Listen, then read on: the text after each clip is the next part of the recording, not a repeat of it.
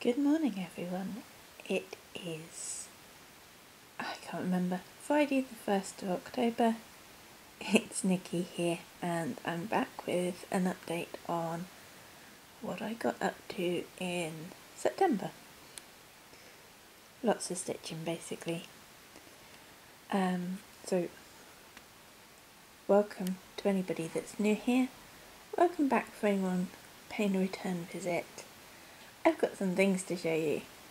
Um, I had a few goals for this month, and yeah, smashed them. So it's, it's been an odd month.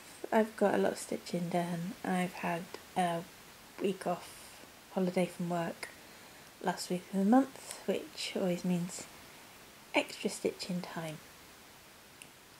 So let's jump in. I'm going to start with Spring Squirrel. This is by the Blue Flower Stitching. I started it earlier this year and I got him finished this month. I typically work on small pieces like this about half, half an hour, three quarters of an hour before I start work in the morning. So generally he gets worked on weekday mornings and I have a few projects that I switch between. It was four, then I finished Raccoon Rabbit and that was in August. So this month it was do I start one to replace Raccoon Rabbit, which was the point. I've got stuff kitted up, I've got things ready to go making a decision on which one I want to start. That's the difficult part. But I did my five days on Spring Squirrel and I'd stitched these this side a while ago, it's not that big. And uh, I got his tail done in those five days and I got most of his head done I think. It was just his hat and the border to finish off. So I thought I'm not putting it away for another month. there's only, there's not much work. And rather than do the new start, I put my foot into finishing Spring Squirrel. So two more mornings and it was all done. So I have ordered a frame that can go up on the wall on in my sewing room. He's lovely. Um, I did have trouble getting this thread. This this colour is acorn, and it was during the time of the great floss shortage that we've just been living through. Um, had I known that it wasn't that variegated, I would have just gone with the DMC. But made the extra effort, got it. It's not variegated, not really, not like this one. Stormy, stormy cloud something. It's nice. Uh, that's the colour on his overalls as well. I picked out the bluer ones for his overalls. The bluer strands. Uh, so, yes, that's done. I love stitching those acorns. Let's zoom in a bit. Those acorns are lovely, gorgeous to stitch. So I do have all the others in the series, but no plans to stitch them just yet. Um, I've got I've got a couple of Plum Street sampler patterns kitted up, um, so I may or may not be starting. Well, yeah, I'll probably start one of those uh, next month. Uh, I could, in theory, have two starts, but I think I want to put in some extra work on Jane Cowie next week, next month, so she might get two weeks. So, anyway, that's the first finish. And the second finish. Yay!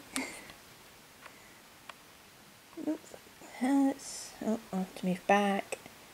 A Bit close. There we go. Faces of Faery, number 185. Jasmine Becket-Griffith is the artist and it's charted by Heaven and Earth Designs.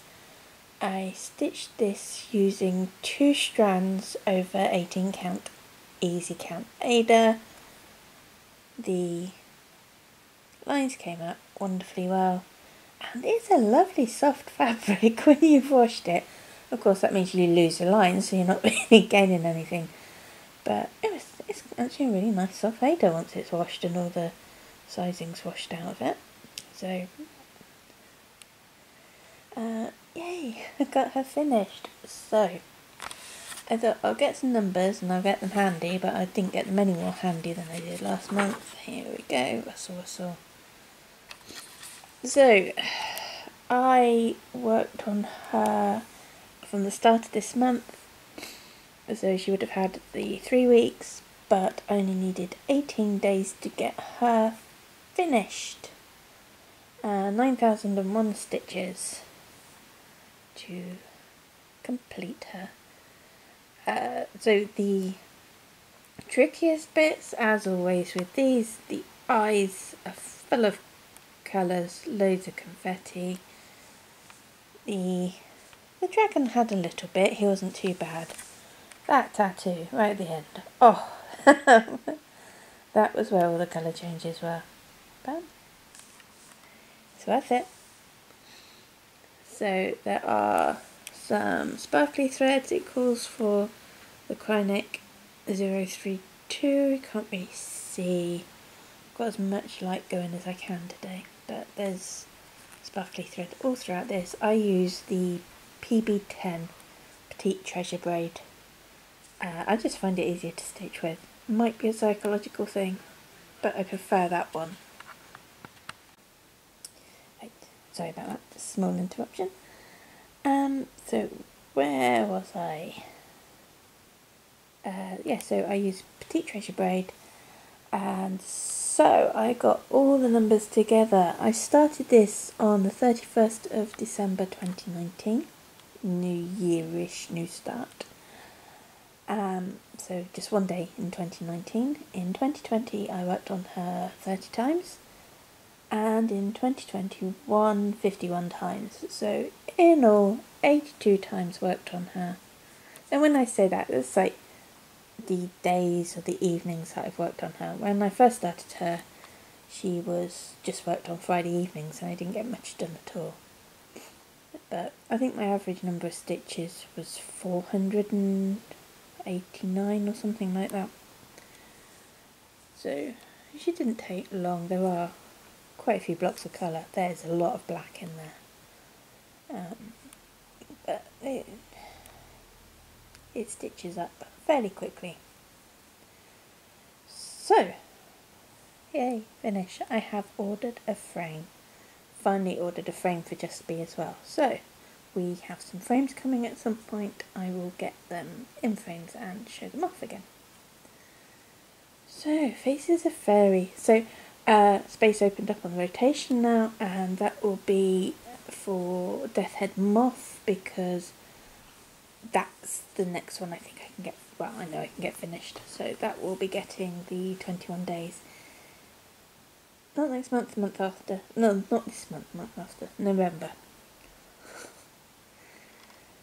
So, um, this is Bizarre Bookshelf. It's a massive kit from Gecko Rouge and it's going to be huge when it's finished. It's a piece of fabric's about 42 inches wide. It's, it's a biggie. But I think it's smaller than some of the Heaven and Earth designs that I've done. Um, pages on Gecko Rouge kits are much smaller, which is good if you like to get through your page finishes. Uh, so, where was I? Um, last month I had a bit of the shelf to finish off. So I did that. So the page three is in there somewhere, and part this is part of page four. So I did kind of start going across onto page four, but um, I kind of continued with my other plan. The shelves are all the same width, but they're not necessarily the same height. So I thought I'd get to there. Now I'm thinking I want to finish off page four and just work it because I've got it on a 17 by 11 Q snap now. Um, I might put it back on the 17 by 8 to come back at some point and finish off page 4 and then I'll work it the four pages across. So I have finished off the first shelf, which is the art shelf. You can't make out the words of the books. What they do though, they do um, some of the bookcase, some of the individual bookshelves, and I know they've got the art one. They've got those as single kits, but they're bigger, so you can read. I think you can read the words on those ones. But I like I like the whole thing. So the first one is art one. The second one I believe is birds. I think that's a bird egg there. Uh, so I've just made a start on this one. Um, typically this is my one hour at lunchtime. um, except when I'm back in the office. We've been back into the office uh, a couple of days now. The first one back I didn't take any sewing with me. And we went out for a walk around the walk around town at lunchtime, but it's starting to get to the chillier, wetter weather now. So I'll probably stay in the canteen at work. So the second time I took my stitching in with me and made that absolute beginner's mistake of not taking any needles in. The worst thing was the bag that I had my laptop in for work I had the night before had a tin of needles in it, but I took it out because I'm not going to be using those, am I? So, next time I'm in the office, I will be better prepared. But that second time that I went in, I actually took one of my small pieces in and stitched on this before work. So, it's a bit more difficult to concentrate on something as full coverage as this that early in the morning, but it's doable. So I'm going to see how long I can do that for. Means getting up a little bit earlier to get a bit more time in, but it's worth it, isn't it? And so altogether, um, also I stitch on this in the mornings when I have time off work.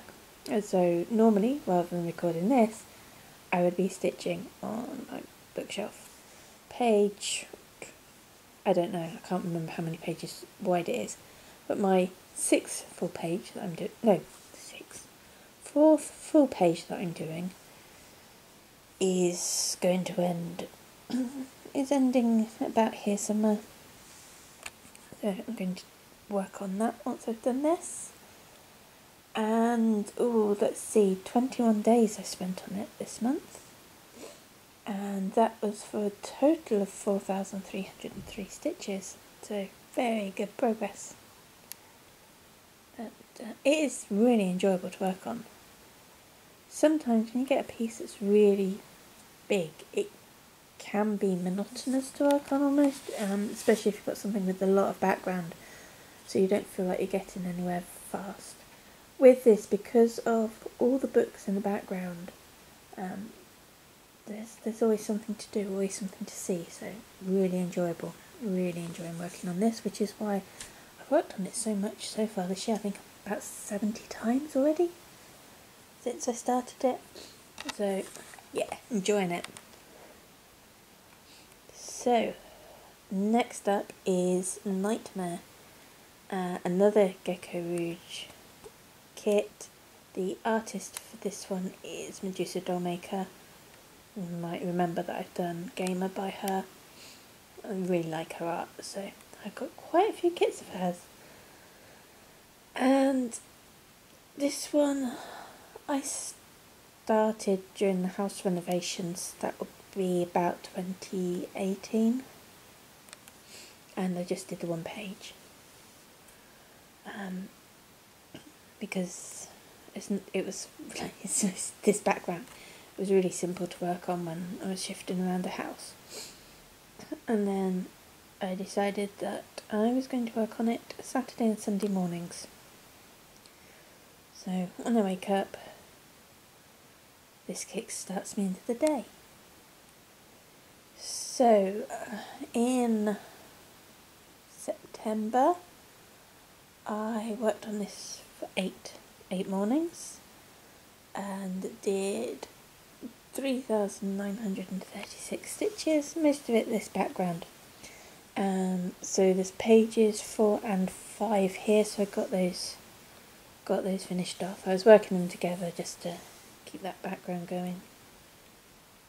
Um, so we've got Barrel finished there. It's characters from Nightmare Before Christmas. Zero the dog. So I've actually come down to start on made a start on page six. So working more on zero. I think there's a pumpkin down here as well. So yay. That's that's most of that. So think this one's about 20% complete now. It's not huge. So it's it's really enjoyable. This this is probably my favourite WIP at the moment. Um, all my full coverage pieces, I've been doing the history sprints month in full coverage fanatics. I'm just working out a way to keep a better track of the challenges for next year. I think I've got oh, I've got that settled now. I've even got a planner ready for it for next year, and uh, so just practicing with what's left. So there were seventeen history sprints in total. I completed twelve. It's, it's different amounts of stitching depending on the year that that event took place. So um, if I'd probably worked out things better, I might have got more done. I just went for dates that I thought I'm not going to get a lot done on this project. so I went for like smaller dates. Um, but I think if I'd worked out better, I might have been able to squeeze another one in. But it's just for fun. So um, I'm just going to pause briefly and get a stitching time balanced on something. It's always the worst one to do. Uh, and then we'll go through that. So be back in a minute. And we're back. It, it decided it wanted to pick a fight with me today for some reason. Uh, so, a stitch in time. Uh, I nearly put it in timeout again this month um, wasn't having a great deal of joy with it. Mostly these flowers. These pink flowers. I hate them. and it's like, oh, one stitch of that colour. And, oh, there's no other stitch of that colour nearby. So I might as well finish it off. Um, so there was much muttering with this project. And what I decided to do is to be a bit more methodical with the stitching on this one. And go back to working in feathered columns. So I had stitches to do over here. It's page 8. Um, page 8 went up to ooh, about there. So I finished page 8 and that made me feel better. Having a page finish cheered me up so she doesn't look so odd now. She is a bit, she is a bit luminous. Mm-hmm. It's the lighting. Um, you got to got love a stitcher that's paying no attention to those balloons outside the window. She's stitching away. Uh, so page eight got finished, and then I worked across some more and page 9 finishes about here somewhere. So, yay, nearly finished this first row of pages. But because of all the other bits I've done, I am 35% complete on this piece, nearly 36. Or it may have been 36. Nearly there. so, um, I, at the start of the year, I had planned to kind of to finish this first row of pages. And to be honest, I didn't think I was going to get it done because uh, I took breaks for working on Just B and I had a bigger rotation. I was stitching more pieces, so I cut back the rotation after I finished Just B and that's actually been going really well. As you've seen, I finished Faces of Faery. Um, so, I, I don't know whether I'm going to continue with it exactly as it is. I'm going to do the 21 days and then the rest of the month on another project. At the moment, that other project is this one because I want to get this row of pages finished. And to be honest, I think that's a possibility for October is to get this row of pages finished. It's just whether um, I want to keep up the pace and keep working on this one every month.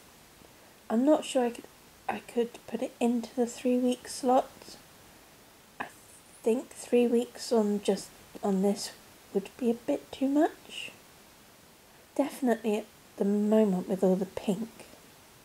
it's the pink I'm having the least least fun with. I'm nearly there. Um, the page, the shelf dividers there. So, yeah, as you can see, I've still got more pink to do. Um, but I do want to work on a little light reading as well. So I might stick with it every month for the rest of this year and then next year decide whether I want to switch the second project every other month as well as the first project. Uh, part of me doesn't want to because if I can keep up a good pace on this, it will get done eventually. Plus, um, next year I'm hoping to finish Deathhead Moth and Unicorn. So two Gecko Rouge kits that I've got started. I haven't worked on Unicorn for a bit. But I am 26% through that one, so Deathhead Moth is 76%, so that's that's not going to take a lot of time to get finished, I don't think. Uh, I also be stitching on that in November. So I don't think there'll be much to do on that next year to get that finished. And then switch over to Unicorn. And then once Unicorn's finished, I could do a little light reading then in the three weeks. But it's whether I want to wait that long to get back to that because I really do love that project. I love stitching those dragons. If this one continues to annoy me, yeah, I'll probably switch. um, what I don't want to do is to get to the point where this one goes into timeout again. I don't want to give up on it, and every time I have tried to give up on it, it keeps calling me, so I don't think giving up is an option. I'll get there eventually. I don't want it to take forever, but I think even working on it every month for those nine or ten days, I think it's still going to take about four years to get done. Um, and that's that's as long as I don't start other things. and I'm always good at justifying new starts. I've got I've got justification in my head for a new start at the moment. I need I need to get some things finished, more things finished. I've done well. I finished two Heaven and Earth designs this year. Um, I started Bizarre Bookshelf uh, but that's got a very specific time it's worked on. Um, so the, the number of WIPs are going down. But I want to I want to get this done. And if I can't get this done, how can I start the other shelves? And there are other shelves that I want to do. I'm not going to be able to start them straight after this. There's something about this one. Uh, so, um, uh, this, well, today I'll be getting Trick or Treat out. I had started by, I had switched to working that across the entire piece and coming down 10 row blocks at a time. I'm not sure if I'm going to keep that up or if I'm going to switch back to working in pages. I guess I'll see how I feel once I get it out and onto the stand tonight. Uh, yeah, bit of stitching on Bizarre Bookshelf now. So, so the rotation, the plans for October is basically trick or treat for 21 days then stitch in time for the rest of the month, bizarre bookshelf, lunchtimes, nightmare at the weekends, and then the, the various smalls that I've got on the go, and maybe start a new one. Yeah, I'll start one. Uh, I need to get some more stuff out and start working out next ones to kit up as well. I think I've got a few to start don't need to rush that. I do need to get some finishing done. I need to make up some small pillow things. Uh, yeah, but that's it for me. That's it for this month. I hope you all had a good stitching September. And those of you that did Sampler September really enjoyed it. The only sampler I worked on was Jane Carey. I haven't done a lot on it, so I'll show that once once I get it finished. Um, yeah. Hope your plans for October are, are getting there and that those of you that will be doing dark October stitching enjoy yourself. I kind of taken part by stitching trick or treat, but that is basically because I like to stitch on that in October because it's trick or treating. But I won't be stitching on it at Halloween. I'll be stitching on this one. this one's my nightmare. So, I've got a frog in my throat now. Anyway, I will see you through the months with Stitch With Me's, and then I will be back at the end of the month for another update. Stay safe, keep well, enjoy stitching, and I'll see you soon. Bye for now.